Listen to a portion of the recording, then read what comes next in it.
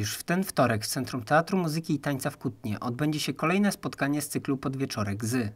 Tym razem gościem Leszka Bonara będzie Grażyna Błęcka-Kolska, aktorka teatralna i filmowa. W roku 1984 ukończyła Państwową Wyższą Szkołę Filmową, Telewizyjną i Teatralną imienia Leona Schillera w Łodzi. Następnie występowała w Teatrze imienia Adama Mickiewicza w Częstochowie. Zaraz po ukończeniu szkoły zagrała debiutancką rolę narzeczonej Urbanka w miniserialu Rozalka Ola Boga. Największą popularność jednak zyskała dzięki roli Kasi Solskiej w komediach filmowych Kogel Mogel i Kalimatias, czyli Kogel Mogel 2 w reżyserii Romana Załuskiego. Co?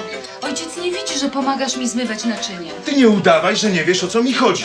Ja nie chcę więcej słuchać tego gadania na temat dziecka. To słuchaj, tylko myśl o czymś innym. A zresztą dlaczego się tak przejmujesz tym, co mówi o dziecku? W sprawie gospodarki też ma inne zdanie. Często grała w filmach swojego ówczesnego męża Jana Jakuba Kolskiego. Za rolę w filmie Cudowne Miejsce z 1994 roku otrzymała nagrodę Najlepsza pierwszoplanowa rola kobieca na Festiwalu Polskich Filmów Fabularnych w Gdyni. Grażyna Błęcka-Kolska gości w naszym mieście, aby opowiedzieć o swoim życiu z Janem Jakubem Kolskim i doświadczeniach aktorskich. Zapraszamy do udziału w spotkaniu.